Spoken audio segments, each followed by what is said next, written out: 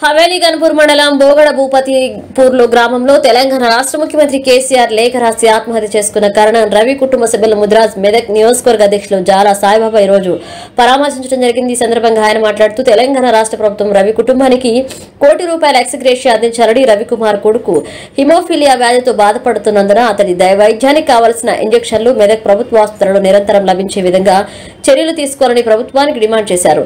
రవికుమార్ తండ్రి వెంకయ్య సుమారు డెబ్బై సంవత్సరాలు నిండిన ఇంతవరకు పెన్షన్ రాకపోవడం అధికారుల నిర్లక్ష్యానికి నిదర్శనమన్నారు. రవికుమార్ కూతురు ఉమాదేవి చదువుకయ్యే ఖర్చు మొత్తం తానే భరిస్తారని జాలా సాయిబాబా హామీ ఇచ్చారు. కార్యక్రమంలో గ్రామ సర్పంచ్ లక్ష్మీనారాయణ హవేలీ గన్పూర్ మండల ముదిరాజ్ సంఘం అధ్యక్షులు మేకల సాయలు ఉపాధ్యక్షులు వీరస్వామి సాయికుమార్ రాజు రాయన్పల్లి మాజీ సర్పంచ్ నాగులు తదితరులు పాల్గొన్నారు. ముదిరాజు రైతు బిడ్డ కర్ణం రవి కుమార్ రవికుమార్. మరి ఆత్మహత్య చేసుకోవడం యావత్ తెలంగాణ రైతులకు ఇది అవమానకరం కారణం ఏంటంటే మరి ఈరోజు ప్రత్యామ్నాయ పంట వరి వద్దని ఇతర పంటలు వేసుకోమని చెప్పడం దాన్ని దృష్టిలో పెట్టుకొని పాపం సన్న వరే పెట్టాలని గవర్నమెంట్ చెప్పడం దాంతో తక్కువ దిగుబడి రావడం దాంతో అదొక ఆయన ఆందోళన. తర్వాత ఆయన కుమారుడు ఆ, దగ్గర పదిహేను సంవత్సరాలు ఉంటాడు. హిమోఫిలియా అనే ఒక వ్యాధితోని బాధపడుతున్నాడు. పద్దెనిమిది సంవత్సరాలు. పిల్ల అబ్బాయి. ఏ, నాకు తెలుసు వాళ్ళ అబ్బాయి రవికుమార్ గారి అబ్బాయి పద్దెనిమిది సంవత్సరాల అబ్బాయి. హిమోఫిలియా అనే ఒక వ్యాధి ఇది ఒక లక్షలో ఒక్క ఒక్కరికి వస్తే ఎక్కువ. అటువంటి వ్యాధితో బాధపడుతున్నాడు. ప్రతి నెల నలభై వేల రూపాయల ఇంజక్షన్లు అతనికి ఇవ్వాలి. మరి అసలు జీవితాంతం దీనికి ఈ వ్యాధికి క్యూర్ అనేది లేదు. జీవితాంతం పెడుతూ ఉండాలి. ఇవన్నిటిని దృష్టిలో పెట్టుకొని ఆయన ఆత్మహత్య చేసుకోవడం జరిగింది. మరి మన మెదకు పరిసర ప్రాంతాల్లో ఉమ్మడి జిల్లాకు ఒక ఎన్ఎస్ఎఫ్ ఫ్యాక్టరీ అనేది ఉండేది. ఆ ఎన్ఎస్ఎఫ్ ఫ్యాక్టరీ మరి కాంగ్రెస్ గవర్నమెంట్లో అది మూతపడడం జరిగింది. దాన్ని ఈ తెలంగాణ వచ్చిన తర్వాత మరి మొదటి సంతకం పెడతా అని చెప్పిన వ్యక్తులంతా కూడా వెనుకకు అయిపోయారు ఈరోజు అది మూతపడిపోయింది. మరి ఆ ఎన్ఎస్ఎఫ్ ఫ్యాక్టరీ ఈరోజు ఉంటే కనుక మనకు రైతులకు అందరికి కూడా చెరుకు పండించే అవకాశం ఉంటుండే. ఈ రైతు హత్యలన్నీ తక్కువైతుండే. అక్కడ బోధన్ ఫ్యాక్టరీ కూడా మూతపడింది. మరి అది ఒక నాలుగైదు జిల్లాలకు రైతులకు ఎంతో సౌకర్యంగా ఉండేది. అటువంటి ఫ్యాక్టరీలు మూతపడ్డది గవర్నమెంట్ మరి ఏం చేస్తుందని చెప్పేసి మేము ముదిరాజు తరఫున నేను నియోజకవర్గ అధ్యక్షుని తరఫున నేను ముదిరాజు తరఫున నేను మాట్లాడుతున్నాను. మరి మా ముదిరాజు ఓట్లు ఎన్నో ఉన్నాయి? మాకు ప్రతి కాన్స్టిట్యున్సీలో కూడా యాభై నుంచి యాభై ఎనిమిది వేల ఓట్లు ఉన్నాయి మమ్మల్ని చిన్న చూపు చూస్తున్నారు.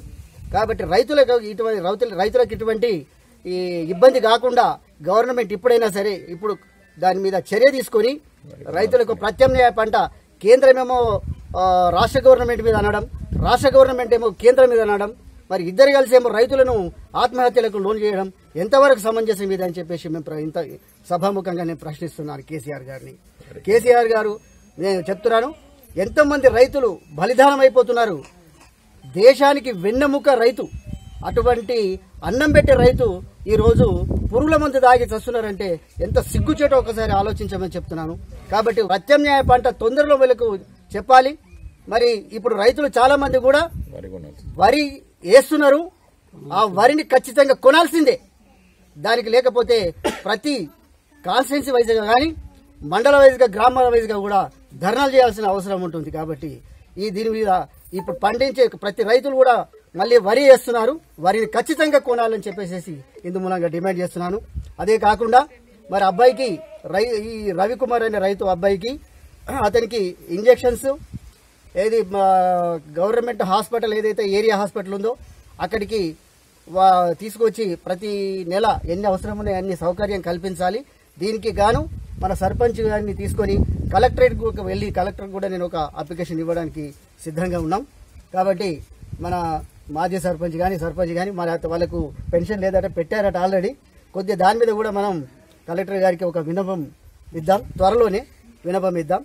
అబ్బాయికి కూడా ఆ ఇంజక్షన్స్ కోసం మనం కలెక్టర్కు ఒక వినతి పత్రం ఇవ్వడానికి రైతు మనం ఒక ముదిరాజు బిడ్డలంతా కూడా త్వరలో అయితే రేపా ఎల్లుండ ఒక మన డేట్ పెట్టుకొని పోయేసేసి ఇచ్చేసేసి అతనికి ఆ సౌకర్యం చేయాలి. తర్వాత వాళ్ళకు కనీసం ఏది పెన్షన్ కూడా లేదట.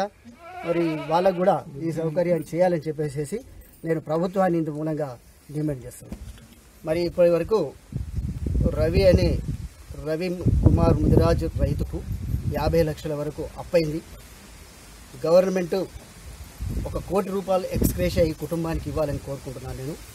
మేము మా ముద్రాజమంతా కోరుకుంటున్నాం. అదే కాకుండా మరి అమ్మాయి ఇప్పుడు పదహారేళ్ళ అమ్మాయి. మరి అమ్మాయి చదువుకు గాను ఆ ఖర్చుల నిమిత్తం నేను జాలసభ్యమని నేను ఆమెకు ఖర్చులకు చదువుకు మాత్రం నేను హండ్రెడ్ పర్సెంట్ నేను అండగా ఉంటాయి ఈ కుటుంబం కనుక చెప్పి ఇందు మూలంగా నేను తెలియజేస్తున్నాను. తర్వాత అబ్బాయికి మాత్రం వికలాంగుల పెన్షన్ ఖచ్చితంగా చేయాలి. తర్వాత వాళ్ళకు ఆ పిల్లలకు ఒక తాత ఉన్నాడు. మళ్ళీ వాళ్ళకు కూడా పెన్షన్ చేయాలి.